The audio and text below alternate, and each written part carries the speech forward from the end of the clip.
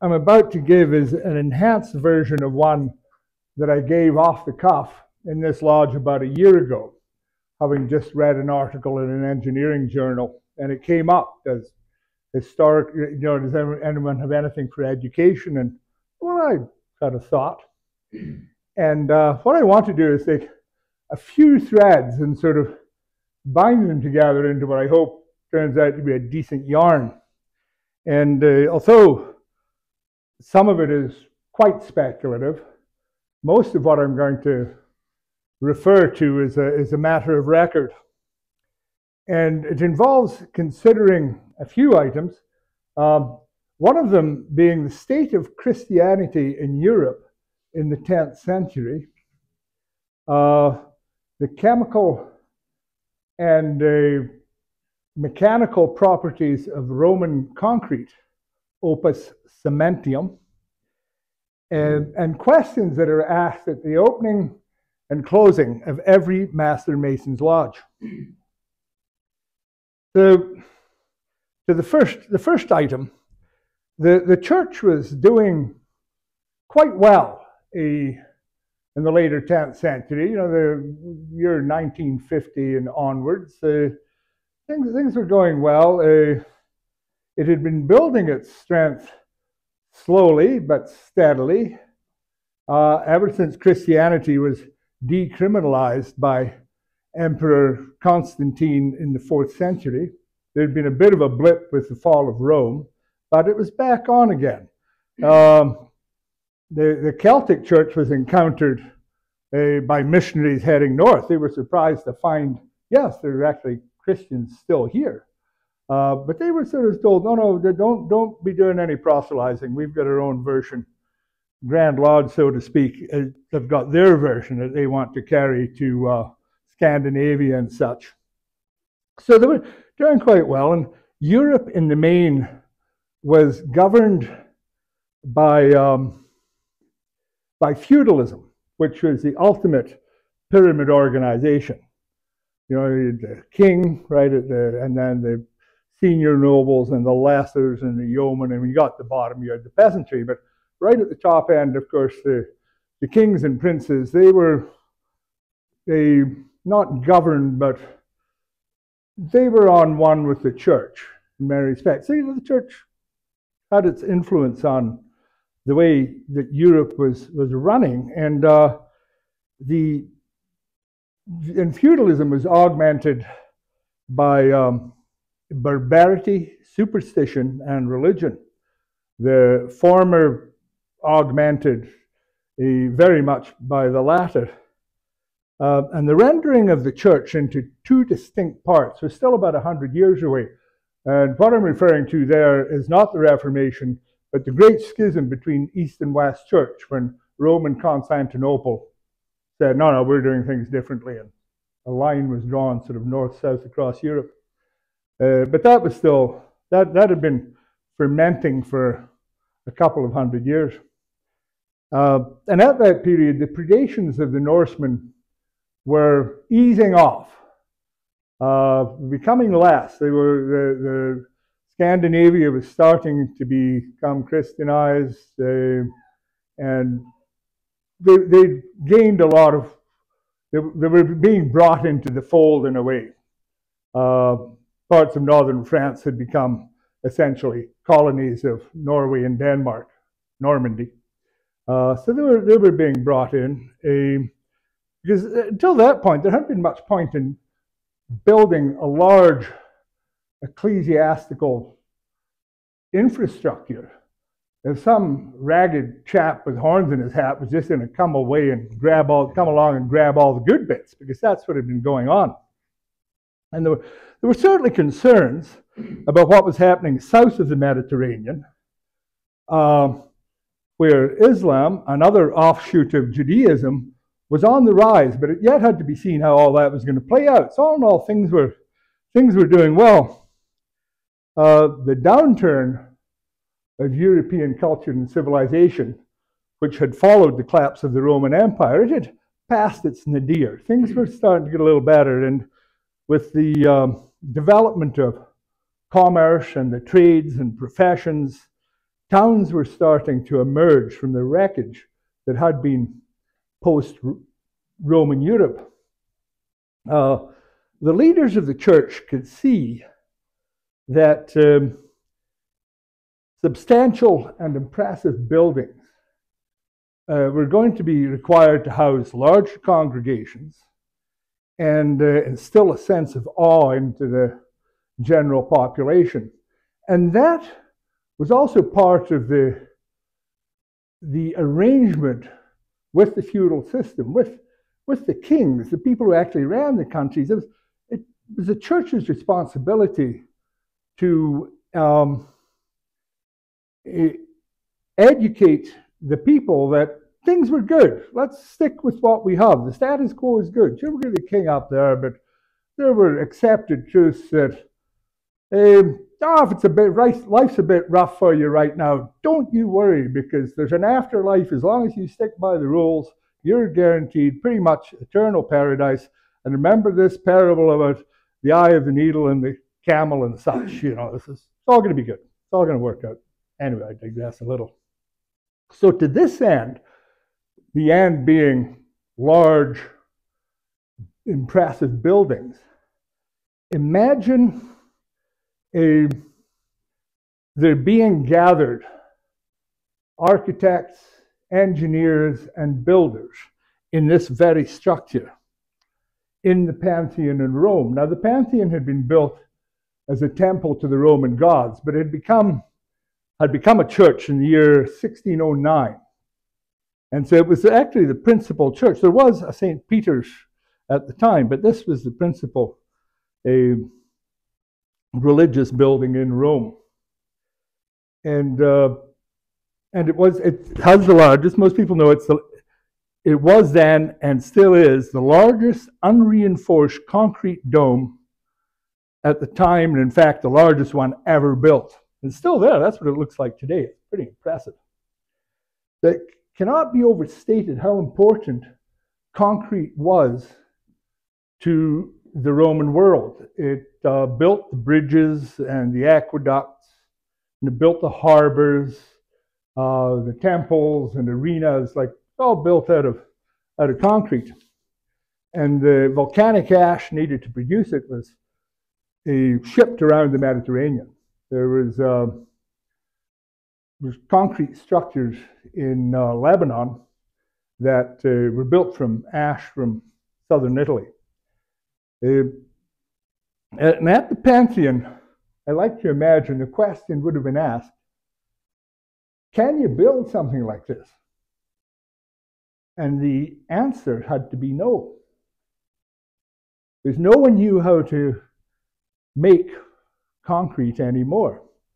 Opus cementium. Nobody knew how to do it. It had, it had been lost. But following the collapse of the empire, all infrastructure building. Because bear in mind, these things were effectively infrastructure, the bridges and the aqueducts and the harbors. It was what held the Roman Empire together. It was all concrete. So when the empire imploded, there were no more contracts. There was no call to build any of this. And within a hundred years, the knowledge of how to do it was lost, was gone. What could be done was build massive masonry walls. There was starting to be some work in uh, military engineering, but massive masonry walls and massive masonry pillars, huge things. Um, and the spans were limited to Roman style arches that did not have the benefit of being built from stone clad concrete. So it sort of limited what a, how big a span could be done. And you look at some of the, the Europe, early European cathedrals, and they're fairly narrow. You know, they'll have wings. Uh, and there are wonderful examples of what was done and could be done in the early cathedrals. Um, Durham Cathedral in England's just a wondrous thing, and Salamanca in Spain, and uh, Modena in, in Italy, and the Tower of London. Same sort of thing, massive masonry. Um, but it had its limitations. The, uh, now, a recipe for Roman concrete was dug out of old manuscripts in 1414. And I've often wondered, I tried to look into it and find out where it was found, and I suspect likely uh, the Vatican archives, because that's the greatest source of information there certainly was at that time, but I couldn't dig that out. And, but by that time, the cathedral builders had started to employ uh, the pointed or Islamic or Gothic arch. Instead of being this 180 degree thing, it was up and like this. And, uh, and it's the, and the knowledge of, I, the knowledge of the superior uh, load bearing and weight distribution capability of this type of arch was likely brought back to Europe by returning crusaders because it had been represented in, uh, in, in, in, the Middle East for, for some time. And it's, it's interesting to consider. Uh, so, of course, the cathedrals after that start to go even higher and be grander and more airy and allow light in and more windows and such.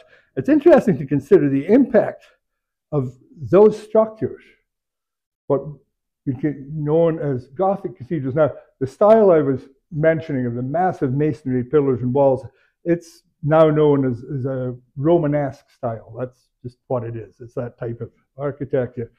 But um, the newer stuff is called is Gothic, which was never actually intended to be a complimentary phrase. Uh, so it's interesting to consider the, the impact that these structures would have had on the towns and the surrounding countryside of the places it was chosen to build cathedrals.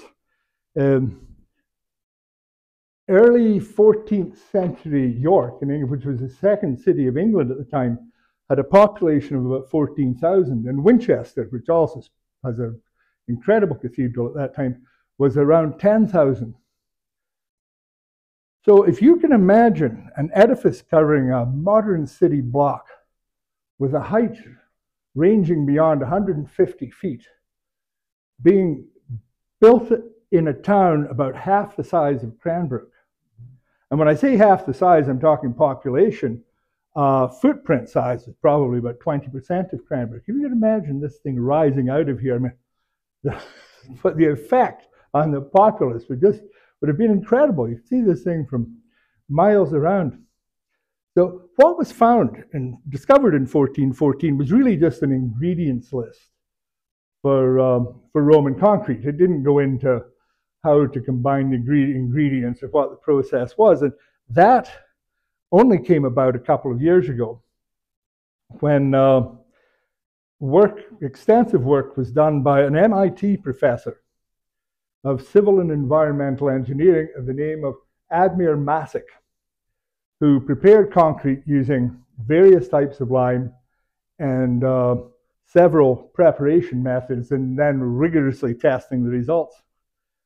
The volcanic ash from Pozzuoli, or something similar, quicklime, calcium oxide, that is the important ingredient, uh, because it could be mixed hot. It heated up. Once water was added into quicklime, um, it, it, heated up rapidly. So there were actually this Roman concrete, this stuff was mixed and placed at a temperature of about 70 degrees, made it very quick setting, and it gave interesting structural properties. Uh, it contains these tiny sort of millimeter sized pieces of um, of lime.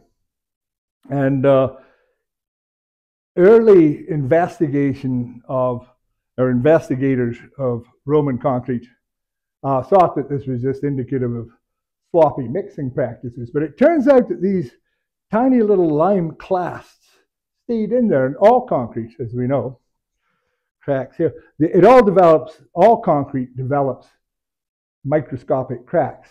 And that's one of its weaknesses. It goes, they become larger and it's a way for water to ingress. Well, when water ingresses into opus cementium, it encounters these tiny little clasts of calcium oxide, and there develops a calcium saturated solution which actually repairs the crack.